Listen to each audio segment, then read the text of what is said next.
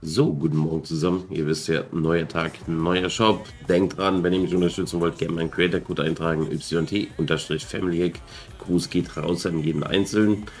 So, was haben wir drin? Wir sehen schon das komplette Matrix-Paket wieder. Dann Windläuferin Echo, Tattoos leuchten, wenn du Trüben öffnest. Also für 800 V-Bucks definitiv muss eigentlich gekauft werden.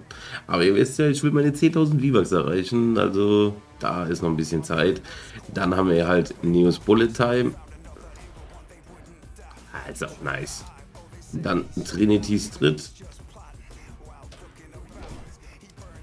Und natürlich, also ohne Quatsch, die Tarnung ist richtig geil. Aber ich sage immer wieder, wie oft sieht man die Tarnung? Also ich nehme meine Tarnung im Spiel selten wahr.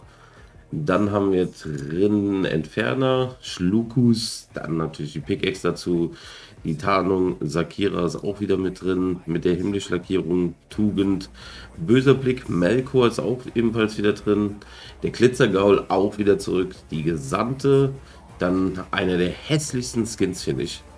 Aber so OG eigentlich. Dann bitte jetzt lachen.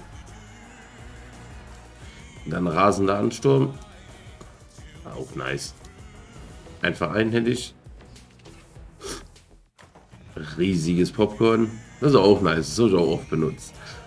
So, dann Balenciaga-Paket komplett wieder drin. Also immer noch drin, sagen wir mal so. Dann das goldene Händchen-Paket ist wieder drin. Ja, goldene, komplett goldene Skins sind ja schon ein bisschen her.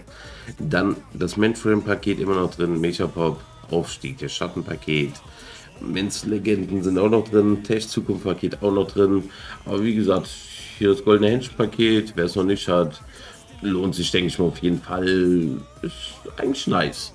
So, ich bin dann erstmal raus wieder für heute. Euch viel Spaß noch beim Leveln und haut rein.